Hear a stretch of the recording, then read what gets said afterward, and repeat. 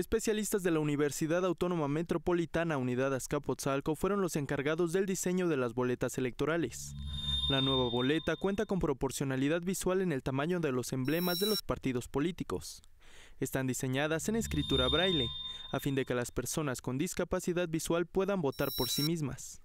Las boletas electorales contienen 12 candados para evitar que sean falsificados, entre los que destaca la marca de agua, textos microimpresos, impresión invertida, fibras ópticas visibles, talón foliado y sello que rebota a la luz de la fotocopiadora una impresión con tinta invisible.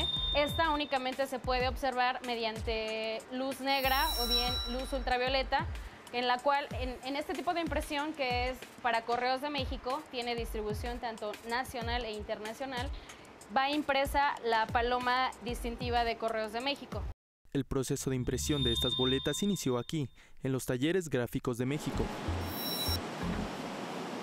El primer boceto se obtiene con los colores base, negro, azul, rojo y amarillo. Aquí lo que se hacemos, se saca una hoja, se pone en la consola para ver los tonos que estén bien. Tenemos un cuenta hilos para ver el registro.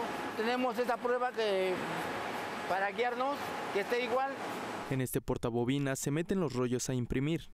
Posteriormente están las unidades impresoras, es donde va la tinta y donde se imprime ya el papel. Después tenemos lo que es el horno, es el sistema para secar la tinta. Garantizar la veracidad, seguridad y confidencialidad de los documentos oficiales es lo que distingue a esta empresa de gobierno. Por ello, al ingresar a Talleres Gráficos de México no pudimos observar las boletas terminadas, debido a que los talleres mantienen contratos de confidencialidad con los institutos electorales. En una toma general, observamos cómo una vez concluido el trabajo se clasifica y empaqueta para su distribución. En total, Talleres Gráficos de México imprimió 87.240.000 boletas electorales para la votación del próximo 7 de junio, mismas que ya están en los institutos electorales desde el pasado 21 de mayo. Elecciones al día, Antonio López.